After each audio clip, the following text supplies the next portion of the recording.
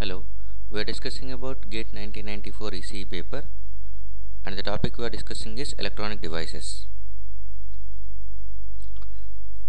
This is fourth one mark question came in 1994. The transit time of the current carriers through the channel of an FET decides its dash characteristics.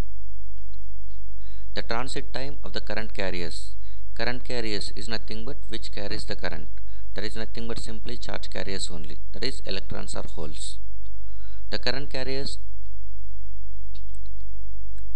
transit time of current carriers through the channel of an FET decides its dash characteristics. The answer for this one is switching characteristics. So transit time of current carriers through the channel of FET decides its switching characteristics. First of all we see what is meant by this transit time and how can it relate to the switching characteristics. Transit time is the time required for a charge carrier to cross the channel region that is from source to drain. So how much time does it require for a charge carrier to move from source region to drain region is called as transit time. The region between source and drain is normally called as channel region. So transit time is the time required for a charge carrier to cross the channel region which is from the source to drain. If we are assuming that one n channel MOSFET by that time this is n channel MOSFET and whenever a channel is going to be formed between source and drain this block shade implies nothing but the channel is existing so this is a channel length L look at this one. This is a channel length L which is starting from source end to ending at drain end so the region between source and drain is called as channel whose length is L. And it is starting from x is equal to 0 and it is ending at x is equal to L.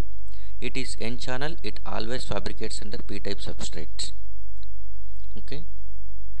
And transit time is now defined as the time required for a charge carrier to cross the junction that is to move from the source to drain region. So this is the name for this terminal is source. The name source is given such that it is sourcing the majority charge carriers for the MOSFET. MOSFET is a unipolar device whose current conduction is only depends on one type of charge carriers.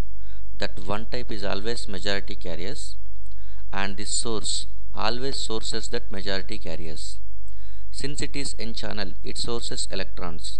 So electrons will move from source to drain side so how much time does it requires for the electrons to move from source end at x is equal to 0 to reach drain end at x is equal to L?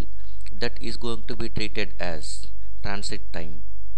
How fast the electrons are moving from source end to drain end that indicates how fast the device is going to be turning on as well as turning off. So the switching characteristics that is nothing but on off conditions are going to be based on the movement of charge carriers. If they fast move fastly at that time it turns on switch quickly. In, so we can say that one uh, transit time is going to be directly decides the switching characteristics. So the right option for this question is switching characteristics. Transit time of charge carriers decides switching characteristics.